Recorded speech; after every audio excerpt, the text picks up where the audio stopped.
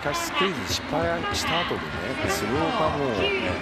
なんか取り戻すべく集中力増しましたね。そうですね、あのさっきの田中ですか、はい、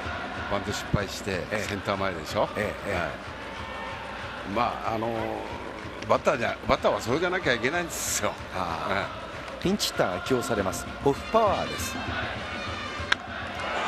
ライトスタンドへ一目散ですどこまで飛んだかというぐらいに一発ホッパーの今シーズン第2号のホームラン。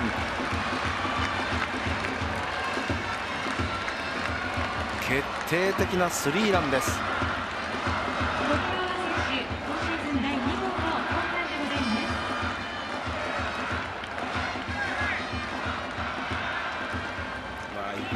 チャーでもこうなったらいけませんね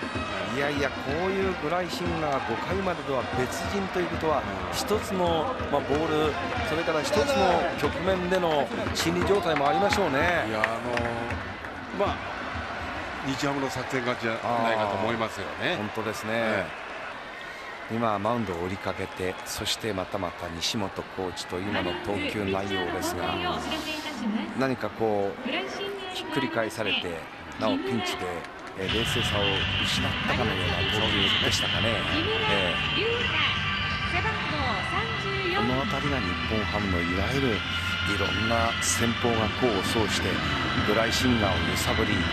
高めの今シュート系、まあ、ツーシームかも分かりませんが